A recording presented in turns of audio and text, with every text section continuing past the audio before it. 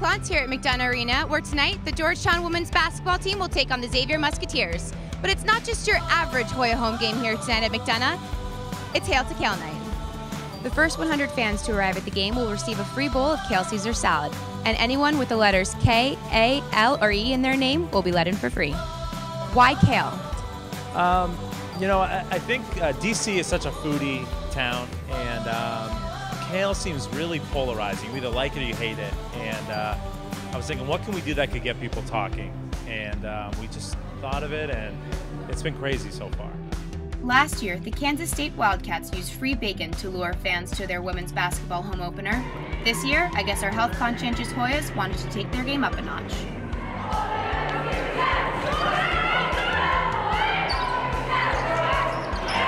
So you're a big kale fan, I hear. Tasted very good. Yeah, I had two of them.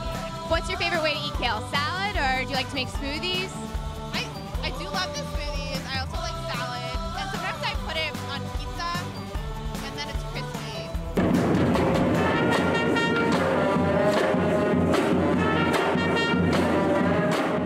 Unfortunately, the Hoyas couldn't pull off a win tonight, but fans still left feeling happy and hopefully just a little bit healthier. Thanks for watching. For Georgetown Buzz, I'm Kara Klontz. To watch more videos on your favorite Georgetown sports teams, go to the Georgetown mobile app.